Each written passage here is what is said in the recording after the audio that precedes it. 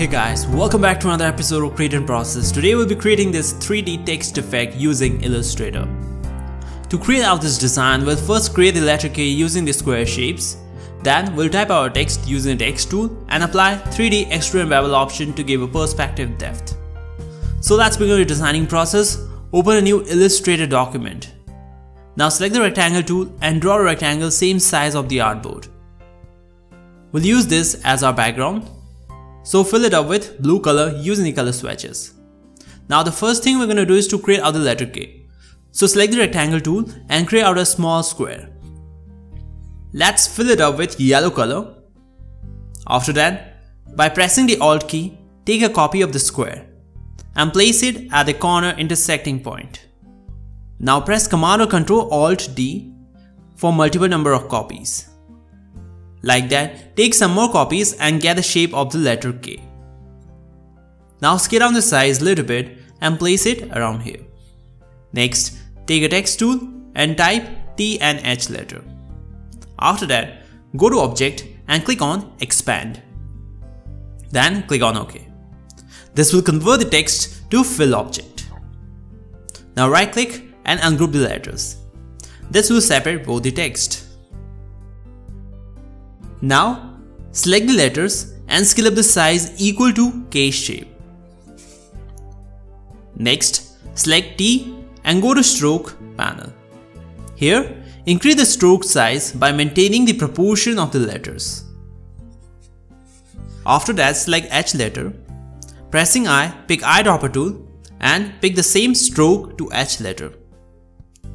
Next, pressing Command or Control R, place the ruler at the top and the bottom so that we can match the height of the letters. Then select both the T and H letter and go to Object and click on Expand. After that, open the Pathfinder panel and click on Unite option. So now the strokes and the fill color will get merged. Next, right click and ungroup them. Then keep letter T before K and H letter after K.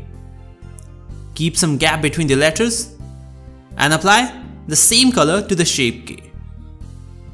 Next, select all these three letters and go to Windows, Appearance. This will open the Appearance panel. Here, go to FX option and under 3D, choose Extrude and Bevel option.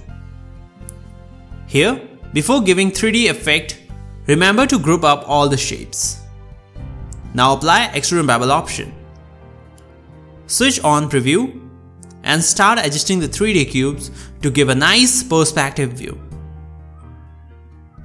Keep on adjusting until you get a nice view and click OK. After that, take a fill color and fill it up with yellow color. Let's do little more adjustments with a perspective view. Keep extrude depth value around 50 and click OK. Now, select the group and go to Object and click on Expand Appearance. Then right click and ungroup it. This will separate out all the faces. Next, select all the dark colored side faces and pick blue color using the eyedropper tool. Then apply black stroke color with a stroke thickness around 4 points. After that, select all the top faces and fill it up with brighter yellow color.